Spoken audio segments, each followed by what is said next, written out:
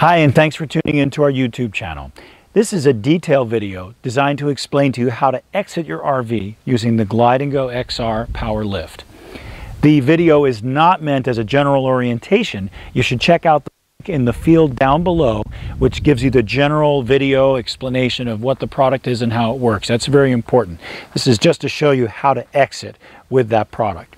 Okay, so this is locking arm, which is the unique feature of the Glide Go XR, it actually locks in position. Okay, there's your rotate right here.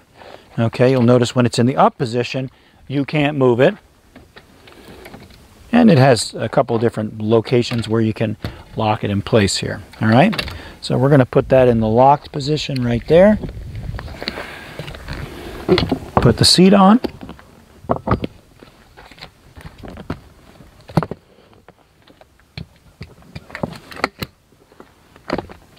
Now this particular seat has a, a, unique feature which is the locking seat back. That's for people who have uh, paraplegia typically and who need the armrest in order to be able to do the transfer. So that actually locks in place right there.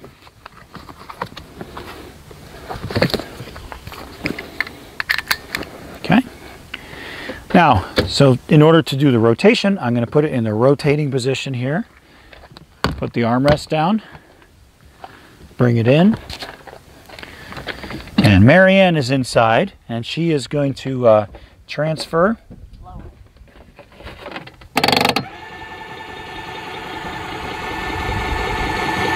Get it down to a nice transfer height. And then Marianne is going to transfer out onto the seat.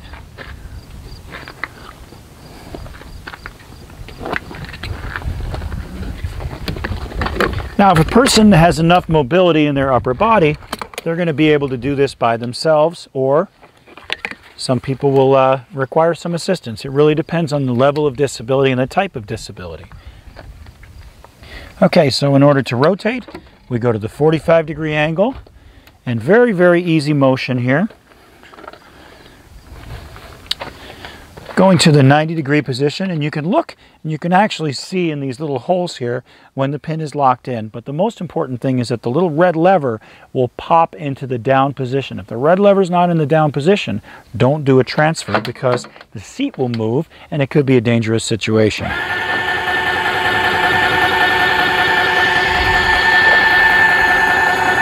Once we get all the way down, we'll put the wheelchair in the right position.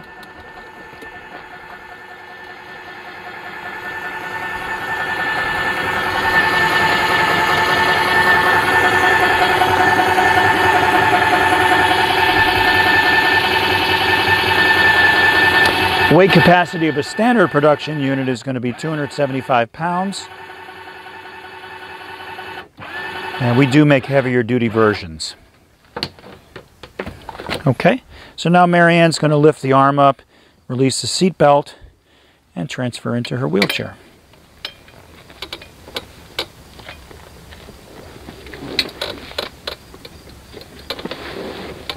Okay, so uh, move back here a little bit. Now to stow the chair,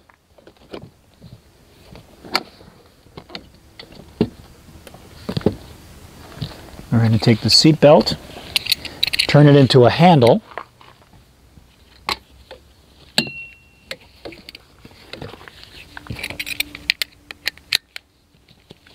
cinch it up, release,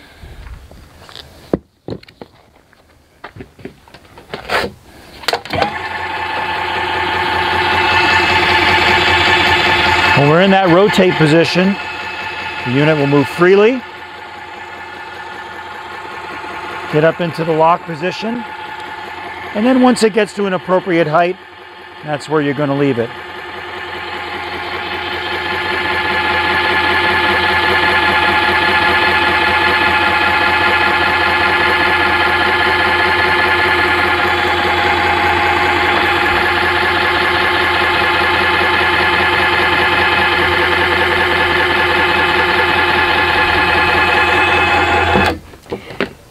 Thank you very much for watching our detailed video. Please make sure to watch the general use video in the notes field down below to get a greater understanding of the product.